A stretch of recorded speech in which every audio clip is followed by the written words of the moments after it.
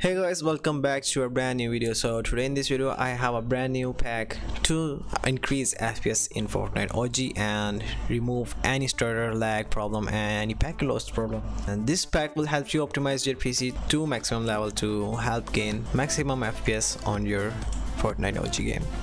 So first of all you will have to download this pack. You can find two folder in this. So first you will have to open the fps boost and fixed stutter pack. Here you can find three things. First is uh, DirectX properties open this and I will show you how to use it. You have to open the edit list. Here you will have to browse for your Fortnite game. Inside Fortnite folder you have to go to Fortnite games. Then go to binaries win64 and then here you will have to select the one with the most highest size. So it's one is this. Then click open. Then press add.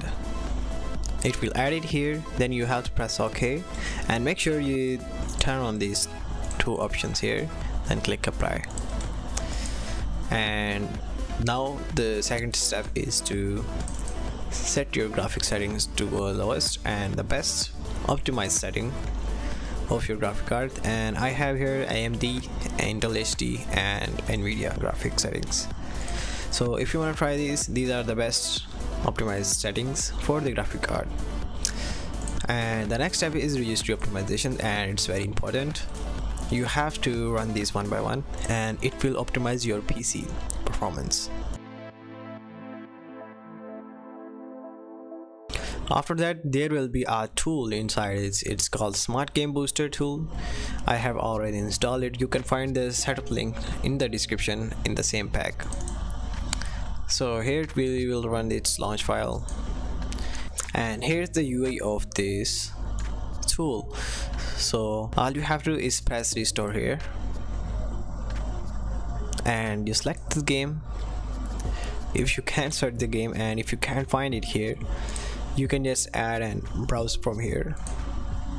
For Fortnite let's select it and press boost.